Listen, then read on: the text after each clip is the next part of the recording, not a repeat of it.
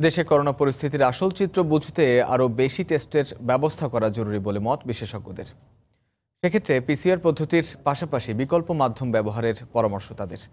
পরিস্থিতি বিবেচনায় হাসপাতাল আর আইসোলেশন ইউনিটগুলো প্রস্তুত রাখা জরুরি বলেও মনে করেন তারা।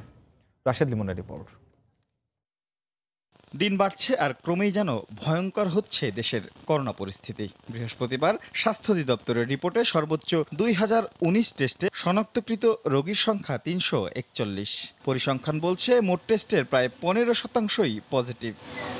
সেক্ষেত্রে স্বাভাবিকভাবেই প্রশ্ন জাগে, যত টেস্ট বাড়বে, শনাক্তের সংখ্যাও কি ততই বাড়বে?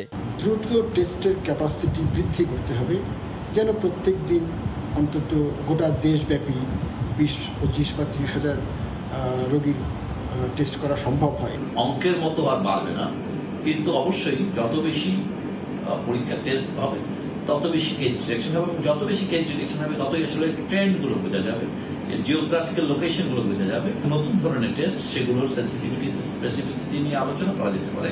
কিন্তু আরও নতুন ধরনের পয়েন্ট অফ কেয়ার নেওয়ার টেস্ট যেমন অ্যান্টিবডি বেসড টেস্ট এমন পরিস্থিতিতে বাস্তবতা বিবেচনায় দরকার আরও বেশি হাসপাতাল প্রস্তুতির আওতায় আনা। নজর রাখতে হবে স্বাস্থ্যকর্মীদের সুরক্ষার দিকেও। কোভিড কেস বাড়ছে এবং এখন আমরা হাসপাতালে ধীরে ধীরে অনেক রুগীকেই দেখব এবং তাদেরকে মানে যথাযথ চিকিৎসা দেওয়ার জন্য isolation bed ICU bed ventilator এবং সবচেয়ে যেটি জরুরি, দক্ষ জনবল সেটির খুবই দরকার। স্বাস্থ্যকর্মীদের ঝুঁকি সবচেয়ে বেশি।